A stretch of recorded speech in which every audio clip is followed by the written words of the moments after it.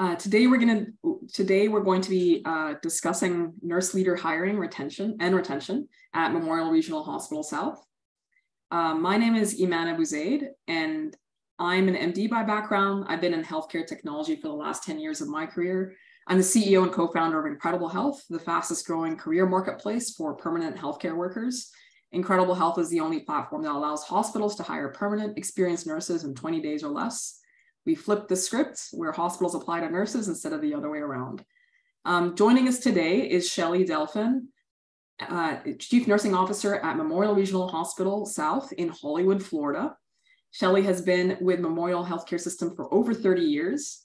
She leads the system's collaboration and best practice council and serves as the CNO champion for the Nurse Manager Practice Council. Welcome, Shelly. Thanks so much for joining us. Thanks for having me.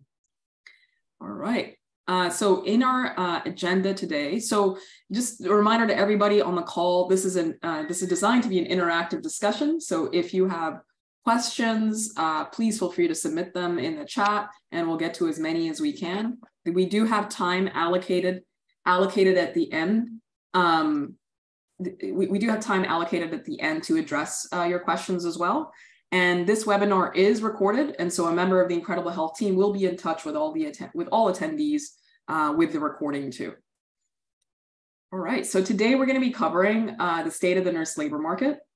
We're going to be covering uh, the importance of nurse manager retention, the strategies for how to drive nurse manager retention, um, how Incredible Health uh, helps hospitals and health systems, and then we've got time at the end for Q&A. All right. Uh, so let me just do a very quick, brief market overview just to set the scene here so we're all on the same page with what's going on in the market. Um, our demand for healthcare as a country continues to increase uh, and because our population is aging, but the workers in healthcare have not kept up with that. The supply of workers have not kept up with that demand. Healthcare became the number one employment sector in the US in 2018 by number of workers and by dollars spent on the workers. Uh, but we have not done a great job as a country overall of increasing the supply of workers to meet, to meet that demand. Um, that is resulting in multiple problems. Uh, one is that we're on track to be 1 million nurses short by the end of next year. The average annual acute care nurse turnover in the country right now is at 27%. It's had a very large increase in the last two years uh, of turnover. In, uh, in Florida specifically, it's about 26% right now. Uh, uh, labor as a percentage of revenue continues to increase. So that means our labor costs are continuing to increase. And that's not just from premium labor, but that's even the even the the uh, the wages of our permanent um, uh, healthcare workforce as well is also increasing. And then the average time to hire it right now is at 87 days. That's the average time to hire a permanent and specialized nurse, which is which is a very long time. Um, also, just wanted to share uh, some data just from our, from our platform when nurses are signing up uh, for Incredible Health, we have about 12% of US nurses signed up on our platform. We often ask, you know, why, why, are you leaving, why are you leaving your job or what are you reconsidering? And uh, by far the top reason is career advancement. I'm looking to advance my career and that could be a range of things. It could include things like cross training. It could mean specializing further in their current field. It could mean moving into management. Um, the second most common reason that's selected is look, and looking for uh, more flexible schedules or a stronger work-life balance. Uh, the third is something to do with geography. Uh, either they're trying to reduce their commute time or relocating. And then the fourth is higher pay. It is in this order, then by far the most selected are the top two, career advancement and looking for more flexible schedules. And so we work with many uh, nursing leaders and HR leaders across the country that are putting together strategies and tactics that address these top, these top um, areas you know, more, more training programs, for example, career advancement for flexible schedules. They're adding more flow pools. We're adding, they're adding uh, more shift options and, and, and so on to, to attract more nurses and to retain them too. All right, so let's turn over to, um, to, to, to Shelly. So um, Shelly, your focus at Memorial Regional Hospital has been on nurse leader retention. Could you just share with us, like, why is nurse leader retention so important? Absolutely. Thanks, Iman, and thanks to everybody for giving me the opportunity to talk a little bit about this nurse leader retention that we're focused on in the Memorial Healthcare System. as Iman had said, um, I am the chief nursing officer at Memorial Regional Hospital South, which is one of our hospitals in the Memorial Healthcare System. But we are a very large system um, of about 14,000 nurses. And um, retention is one of the key imperatives for us right now. I lead the, as part of our nursing strategic plan, I lead the collaboration and best practices team.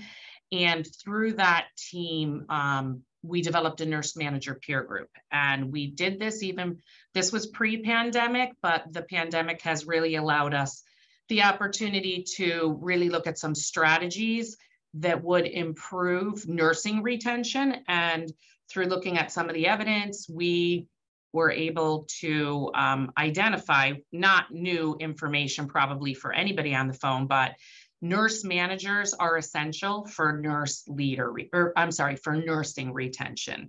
So we chose to take a look at this strategy because as everybody knows, high functioning nurse managers are essential to the success of, of your organization's mission and objective, and they do have a direct correlation to nursing retention.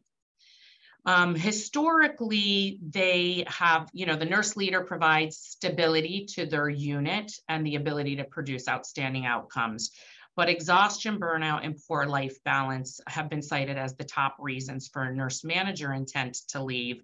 And that was pretty much the impetus for us to look at developing a strategy through the use of the nurse manager peer group to retain nurse managers. Um, there's just a couple of statistics that are up on the slide that I wanted to talk to because nationally, um, this is this is an issue for all organizations as well as ours. The American Organization of Nursing Leaders recently did a longitudinal study, and that's where um, these statistics came from. Study was done in 2021 to 2022, and they cited that replacing a nurse manager costs about $80,000. And that doesn't even take into consideration the amount of high performing staff that will follow that nurse manager once they leave. So from a financial standpoint, there's a big impact to nurse, nurse manager turnover. Um, 45% of the nurse managers that were surveyed in this in this longitudinal study cited that despite all the efforts that are going on, they still have intent to leave their current role. They cited burnout, exhaustion, and poor work life balance as the reasons that they were still considering leaving. But what was even a little more striking to me as a nurse leader um, is that 47%, less than, I'm sorry, 47% of those nurse managers reported that they were emotionally healthy. So it, it is imperative that organizational leaders, particularly nursing leaders, assess and implement strategies that'll help us retain our nurse leaders. Okay, so turn, turning now to Memorial Regional Hospital South specifically and the work the work that you've done, um, what are what are the strategies that you've you've put together to to retain your nurse leaders? So our, our goal in the Memorial Healthcare System and as part of the nursing strategic plan is to provide a healthy shared governance approach to leadership, to nursing leadership. And we had started that, like I said, pre-pandemic. Um, this nurse manager peer group um, has done a lot of work. They, um, they were really developed in 2019.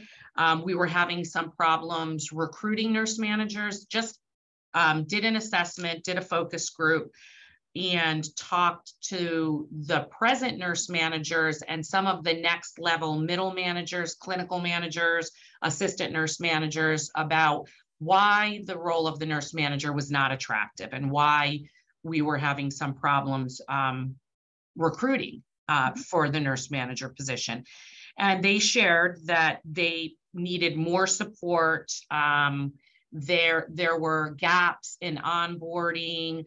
Um, there were gaps in competencies. So this nurse manager peer group was developed across the system and it has representation from each facility. And what they do is they meet with their nurse manager peer groups at their hospitals to develop a, a priority or develop some of the things that they need to work on. And some of them are listed here. Um, they wanted to, they wanted more structured onboarding programs. They wanted to develop their competencies using evidence rather than just history. they wanted to look at work life blend, which meant flexible work schedules or a flexible work environment, and really assessing and looking at creating a healthy work environment, which, which I know all organizations are looking at trying to do. Mm-hmm. And then for the for the um, there were already all, there were already multiple programs available for nurse managers, right? Could you just highlight a little bit more, like what was um, was there like a, a problem or challenge with the existing programs? Were they not enough? Yeah. I think, excuse me, I think what when they did when this peer group did the assessment in 2019, there were existing um, programs. There were leader uh, like leader development programs there wasn't really anything specific to nursing, to nursing leadership. So they were challenged with identifying where the gaps were and then creating and developing using evidence-based um, research programs that they thought or competencies that they felt would fill these gaps. And they set up a whole structure where they, you know, when when they would go to the lit, they would go to the research or the literature and develop the competencies. Then that goes next to the director of nursing group, to the CNOs, and then um, when they require executive staff sign off, our chief nurse executive is our voice, is the voice for that nursing leadership group at the executive table. And that's that's kind of the prioritization and the way that we get these programs or these competencies or these implementations approved through exec staffs.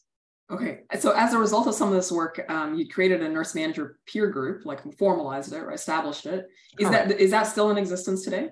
It is. Okay. It is. It it was born as a nurse manager peer group, um, and then throughout the last three years, they've evolved into a nurse manager council to stay current with professional govern governance and structures, um, shared governance structures. Okay, so question that you know I, I know is going to come up in the Q and A. I might as well just ask it. Is you know this all this happened since 2019.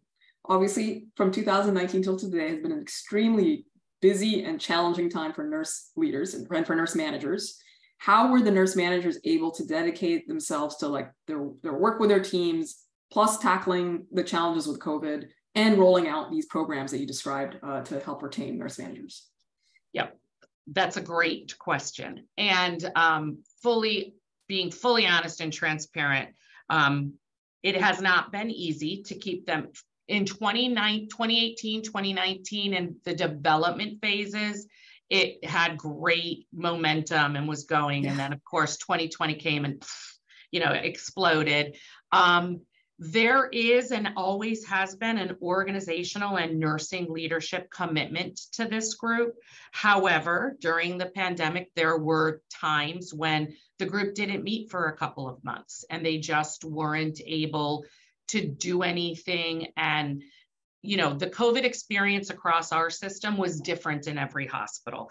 Everybody had a COVID experience. It just wasn't the same experience in every hospital. So there were some leaders in some facilities, they kept communication. It wasn't always by meeting, it wasn't always by um, you know, sometimes it was just a text group where if something was happening in one facility, another facility might be able to help out. So it did become less formal during 2020 particularly and then into 2021 and then um, i think it was the i think it was in the winter of 2020 headed into 2021 that as a system with our hr partners we um, were acutely aware that we nurse managers were just back to burning out. I mean, they were talking about a flexible work schedule. They were talking about all these programs, but they just didn't have the time or the energy to do any of it. So we did pull together a focus group and tried to help them um, reprioritize. We didn't only focus on the nurse manager peer group. We pulled some nurse managers who weren't involved or hadn't been involved in the peer group development and then pulled some middle managers as well to say, here's where we were, here's where we are, where do we need to go in the future?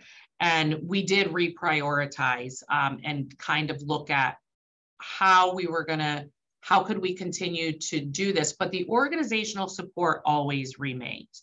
Mm-hmm. Um, we we had a different chief nurse executive. Um, she has since retired, Maggie Hanson. A few people might be familiar with her, and she really was um, committed to the growth of of nursing leaders. And so we did have we do have organizational support. You know, we we kind of had to slow down a little bit, but yeah. we did continue to move forward. Okay, so um, to summarize, like the, the result of uh, this peer group was quite a lot of programming, which is awesome, right? Um, you had structured onboarding programs. You you ended up defining the competencies for each role. You assessed all the nursing leaders to understand what the competency gaps were. Um, you offer more flexible schedules, and then finally you involve them in creating a, a healthier and safer work environment. I'd love to next go through some detail here because uh, I know there's going to be many on the call that are like, you know, thinking about putting these programs together themselves. So let's talk about the competencies first. Like, how, how did you, can you walk me through um, the competencies Memorial Healthcare ended up establishing for nurse managers?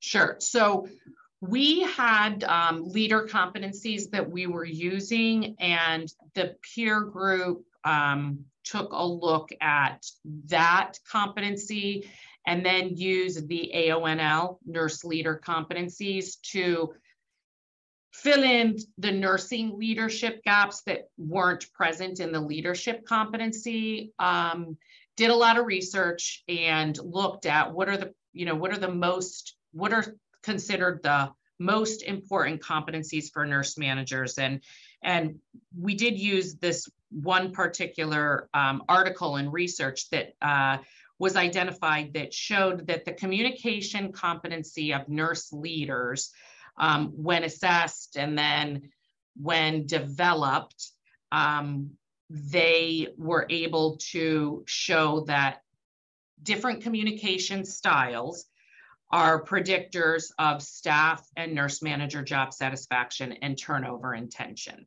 Okay. So that was one of the keys. And, and, you know, you can't you can't always change somebody's communication style, um, but it can, you can do a self-assessment and they did do some self-assessments. Now they weren't able to look at every nurse leader across the system. So that's kind of a facility specific uh, thing that we'll be doing moving forward. But in general, they looked at the research and said, transformational or supportive lead, comp, leadership and communication styles tend to retain staff or show better communication with frontline staff, staff following those, those type of leadership styles will decrease turnover. So that was the way that they did the assessment of competency and then a self-assessment of themselves. Again, not, it wasn't considered mandatory, um, but these are nurse leaders that are looking for growth, directors of nursing and chief nursing officers that are looking for that type of leadership style. So it just gave us some information to use as we're hiring new nurse managers as well. So we did um, give them some tools to use, um, stoplight reports, the way to hold staff meetings, listening tours, things like that. So those type of things are tools that we gave to them. And then the competency that was developed utilized the AONL guidelines. And then we did use for the first time um, in July of this past year, that competency assessment. And the directors of nursing fill it out, um, fill it, you know, complete that competency for their nurse managers. Okay, um, so why, by the way, just a reminder to everybody who's who's on the webinar, please feel free to submit your questions. We'll try, we'll get through as many of them as we can.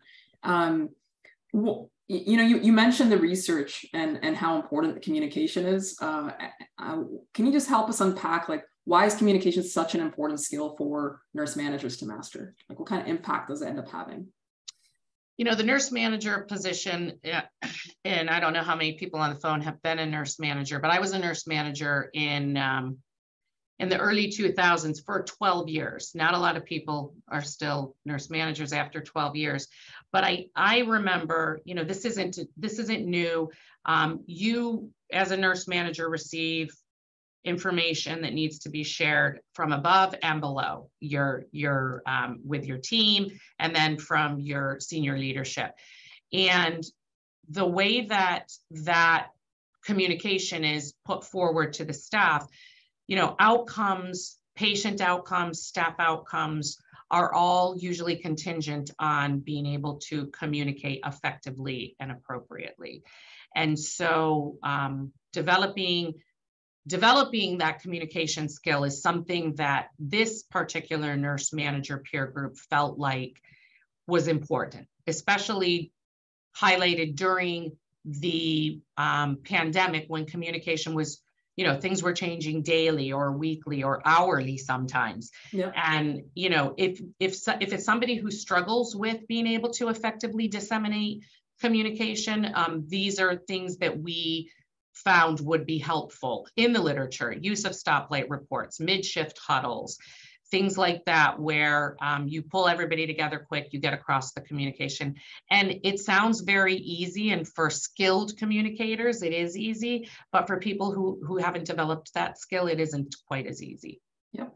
Absolutely. Um, a question from Rachel Chavez that came in is how did you assess the gaps in competency? It sounds like there was a self-assessment initially and then now it's a little bit more, even more formalized. You use the AONL guidelines. Correct. There's, there's, a sort of a, a, assessment of the of the leaders. Correct? correct? And we and and we always utilize. We have historically in the healthcare system utilized a uh, 360 type um, mm-hmm. assessment style self a self assessment as well as for your peers and uh, from your peers and a lot of that um, is is gathered through that um, but we really, the nurse manager peer group really counts on each facility to keep that going. You know, they're not that they're not responsible to um, uh, to to assess that in a new nurse manager. That would be the nursing leadership team at that hospital. Got it. Okay. Um, question from Blaze Hirsch is who is who leads the nurse manager practice council and what's the cadence of the meetings now?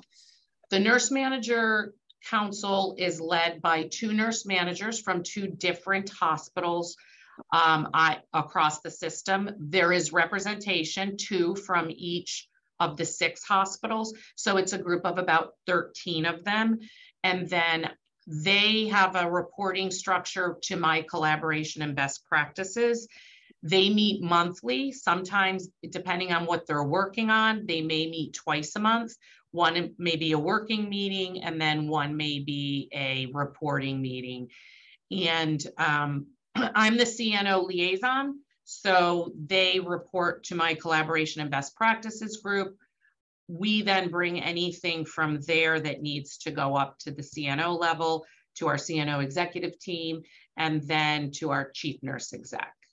Okay, Awesome. So, uh, how are you? How are you making sure that these skills are being taught and practiced on an ongoing basis?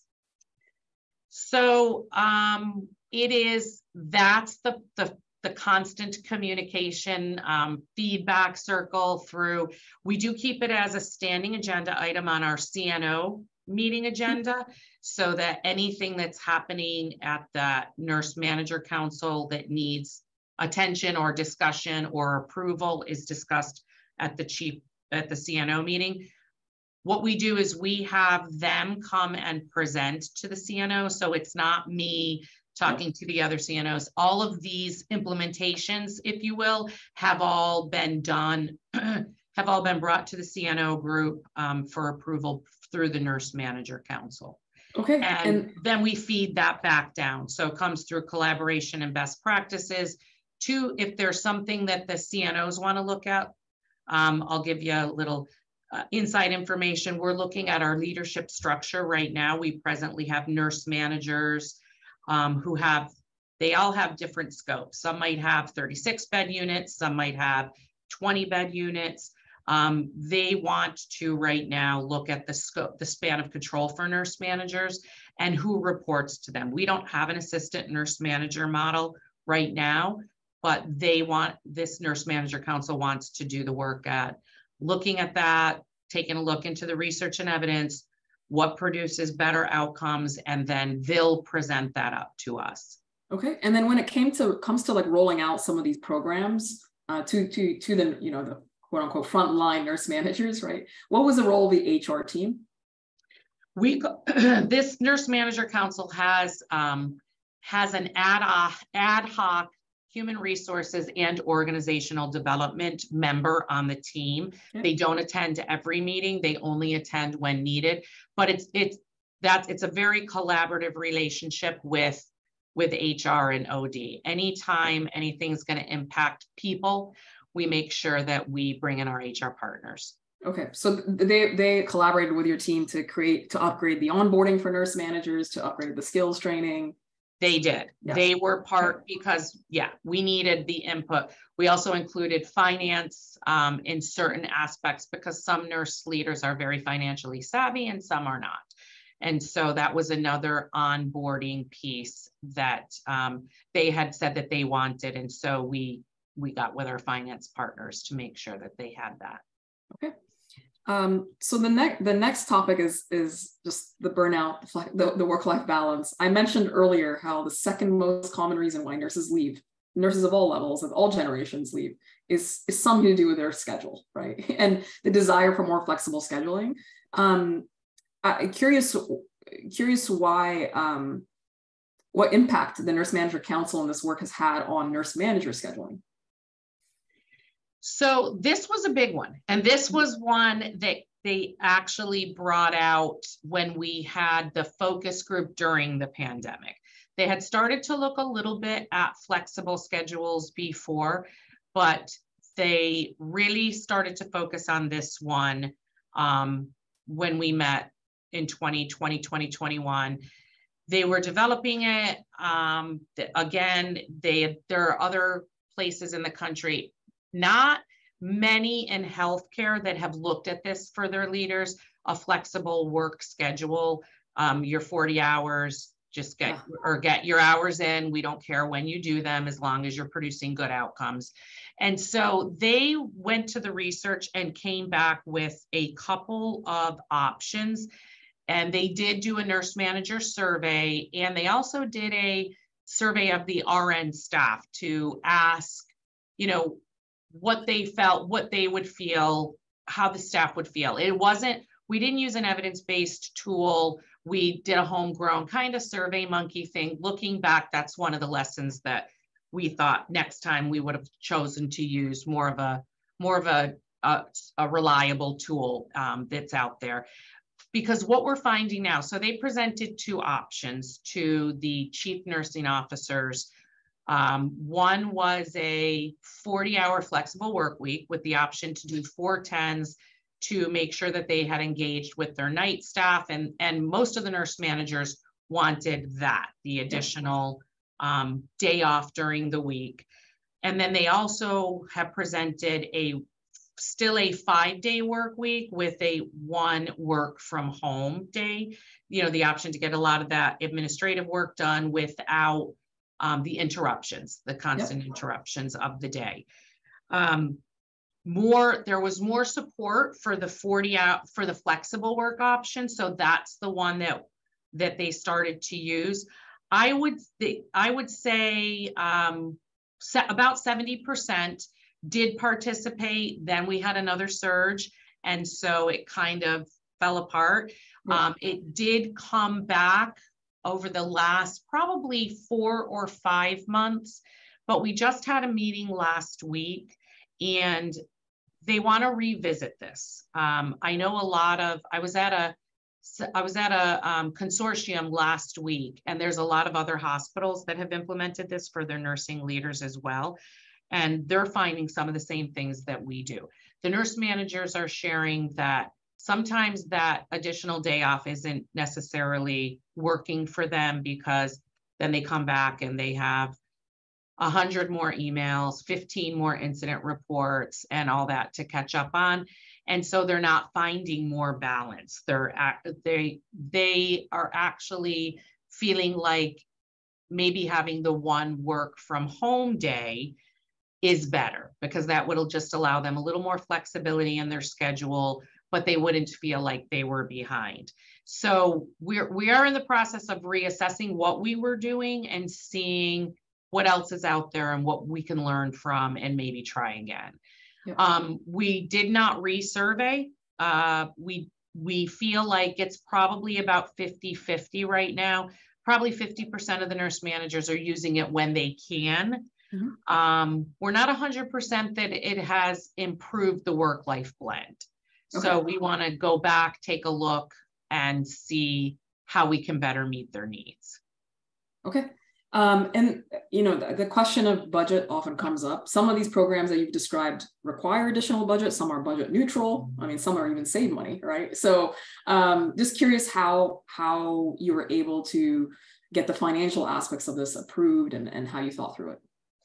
You know, interestingly enough, they're really in in the flexible scheduling option for nurse managers, we did have to do some work with payroll and with finance to just, you know, show how we were going to the actually the just the logistics of putting in the day so it doesn't screw up the payroll system.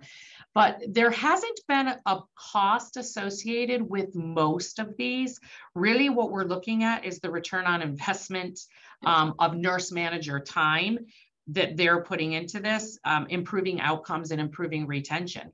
So to say budgeting, we really haven't had to budget right. for any of these implementations so far. Again, it's more of a time, you know, it's yep. the, the time and, and just showing the impact on retention. Now, we haven't we have had good nurse manager retention and that's we have had movement across the system like nurse manager role in one hospital to nurse manager role in another hospital or nurse manager promotion to a director of nursing. We haven't had a lot um, we our retention has not dropped due to nurse managers leaving because they were unhappy. Okay so that was actually gonna be my next question like what's what's been the impact of these programs that your teams have put in place so we the retention of the nurse managers was mm-hmm. one thing we were we were looking at one of our key one of our key performance indicators. We're also looking at staff retention mm-hmm. and and our we looked at employee engage our employee engagement survey to see if leadership improved and i can tell you from the 2021 employee engagement survey across the system to the 2022 we did see an increase in staff's um, perception of leadership engagement and, and satisfaction with their nurse leaders. So that was a good one um, as far as employee looking at employee engagement. On nurse managers, we, like I said, we've seen no, we haven't seen people leaving the nurse manager role either to leave our organization and go to another organization. We've seen some shifting of nurse managers, but staying in the nurse manager role. And we have been able to um, promote some clinical managers to nurse managers by highlighting the role and, and making it you know more attractive through some of these implementations. All right, so on the topic of creating a safe work environment, um, what, what, what could, could you summarize for us like what your teams put in place to, to address this challenge? Sure.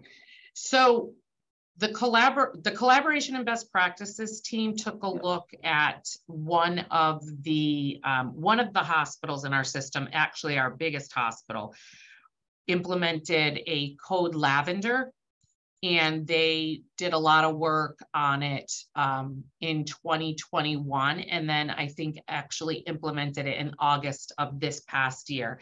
And this is just this is a program to create a safer a, a healthier work environment. And we're, we're using them as a beta testing site and once we so the nurse manager one of the nurse managers from that hospital did bring this as a wellness and and a healthy work environment initiative to the nurse manager council.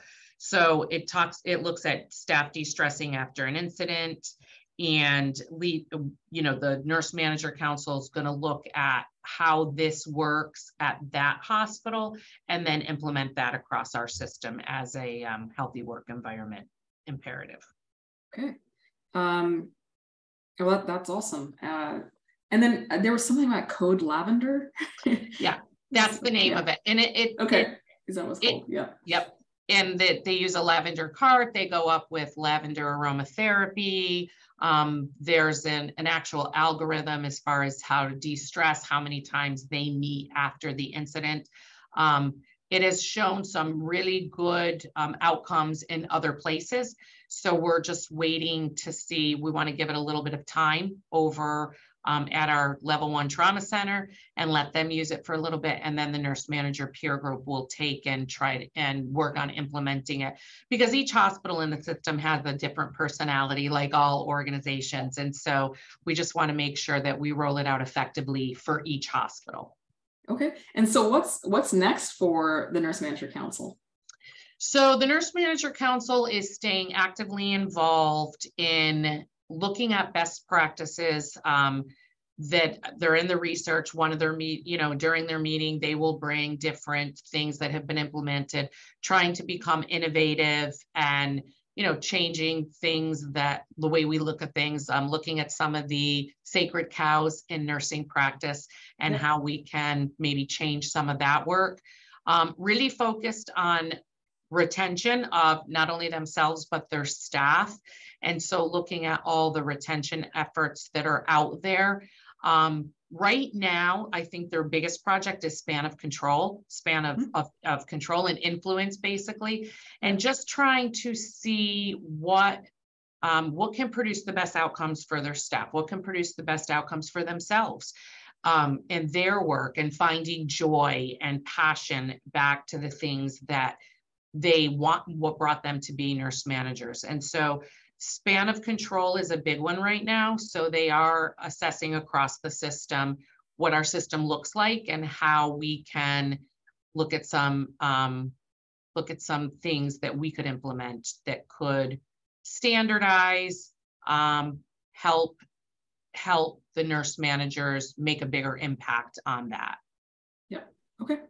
Um, Fantastic. Well, I mean, congrats on all the work and success so far. Thanks. Um, I'm gonna I'm gonna come my one of my final questions for you will be uh, what's your top tips and advice for others who are implementing this? I'll just do a quick uh, overview of what Incredible Health is, and then we'll come back to answer that answer that question.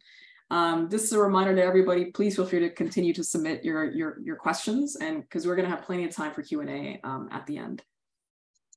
All right. So Incredible Health is is a software company, and we're a career marketplace for healthcare workers. Hospitals they use our custom matching technology to hire high quality permanent nurses in less than 20 days. Um, we also we work with over 500 600 now hospitals and health systems across the country, including um, including very large ones like Kaiser Permanente and HCA. We work with many academic medical centers too, like Johns Hopkins and Stanford and Cedar Sinai, and lots and lots of community hospitals as well.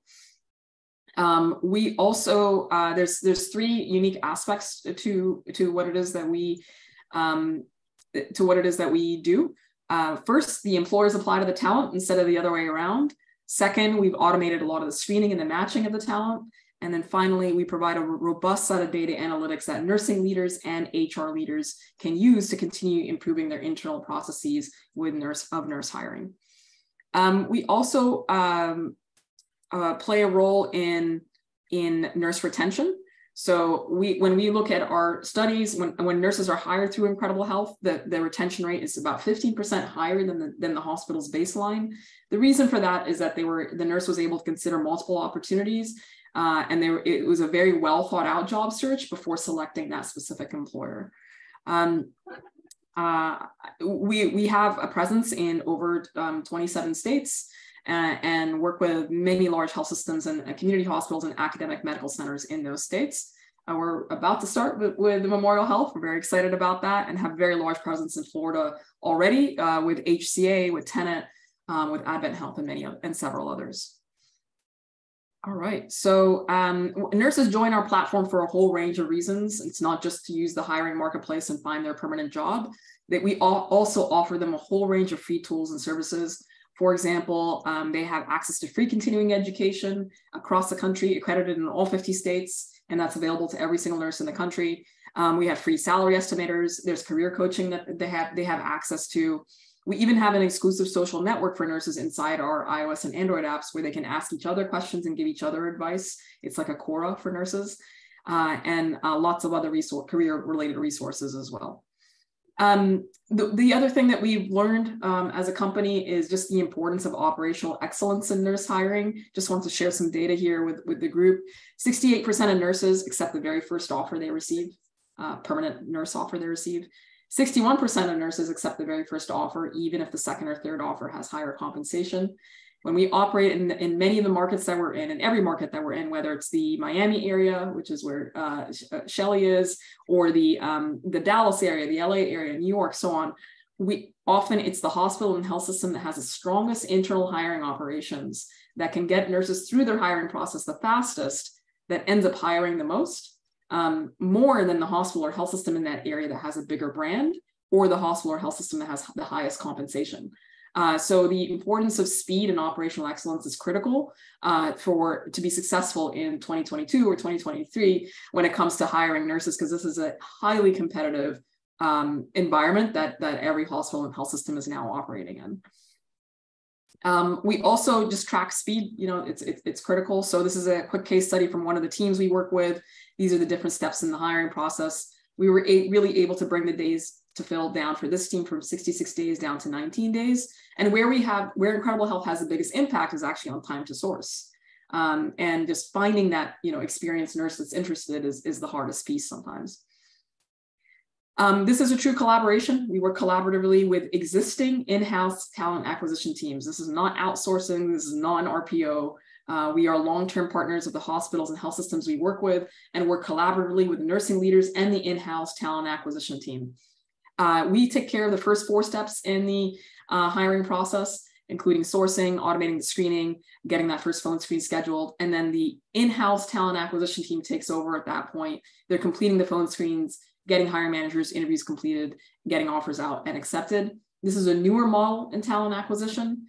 You know, we talk a lot of, uh, Shelly was mentioning things like span of control and, you know, nurses needing to operate at the top of their license. We have, recruiters have to do that as well. Uh, and a recruiter operating at the top of their skill set means that they're spending the majority of their time speaking to talent or uh, engaging in building relationships with hiring managers.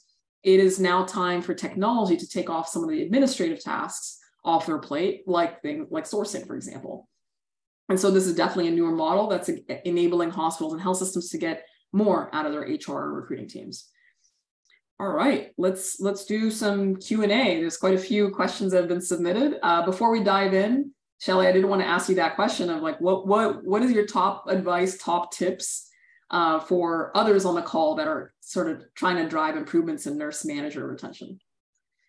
Um, I would say the probably the first step would be to, and, and, you may have already done it in, in your organizations, would be to um, get a focus group of nurse managers together to and listen. Um, you know, I, I think probably in every organization there is uh, a nurse leader who is passionate about this. Um, I happened to be in a DNP program when I was working with this group, and I can tell you that all of my, a lot of my colleagues that were in class with me were looking at nurse manager and nurse leader turnover and retention as their DNP projects. So yeah it is a hot, hot topic. And I think we all know that, um, you know, it's imperative to, to, to our high performing teams in our organizations. So I would say uh, first step would be to do a focus group. Um, yep. Where what do the nurse managers want? What do they need? what are the things that are keeping them up at night? Even though we think we know, it's always um, I always learn something when I listen, and then um, just establish. you know, you have to have your executive and your organizational leaders support for for this type of council. Yep. Um, and so I think that would be the next, well, first step would be to make sure that the organization has the appetite, and I can't imagine that they wouldn't for this. And then, um, then just, just get it started. Okay. Awesome. Um, there were, there are a few questions being submitted about uh, incredible health. You know, Danny's shared uh, in the chat um, a link to just request a time with our team. And we're ha happy to walk through walk you through more, more detail as well. Um, all right, another question that has um, come up from um, from Michael Richardson. How do you, how do you maintain a level of accountability while balancing the retention of your nurse managers? Um, a level of accountability for the nurse managers. But yeah, yeah. Um, I think that that expectation is set at, it has to be set at each facility mm-hmm. and by each, you know, nurse leader that that those nurse managers report to. Um, but accountability is is part of the competencies that you know sometimes need to be assessed and and and then fill in those gaps but um, typically when the nurse managers are looking for something like this um, they understand their accountability. Okay. Um, and then a question from susanna uh, is do you have uh, this is a very specific question. Do you have a sample or example of self-assessment tools? Um, I do. I, uh, but I, there also, you can just look in the literature. There is a AACN has a healthy work environment.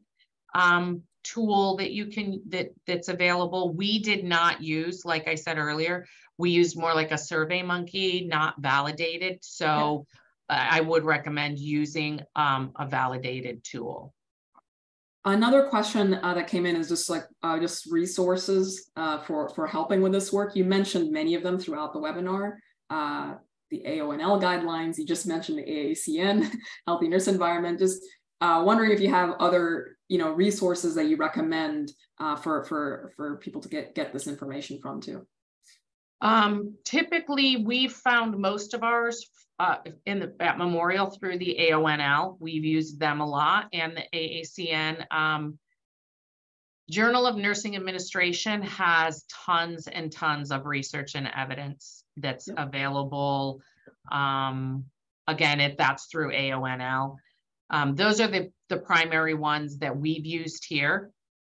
I'm yep. sure there's tons more out there. Yeah. Um, question from Cortland Adams uh, you know, you, you mentioned several contributors to least nurse leader uh, turnover, but when we focus in specifically on the burnout challenge, what would you say is like the top contributor to nurse leader burnout?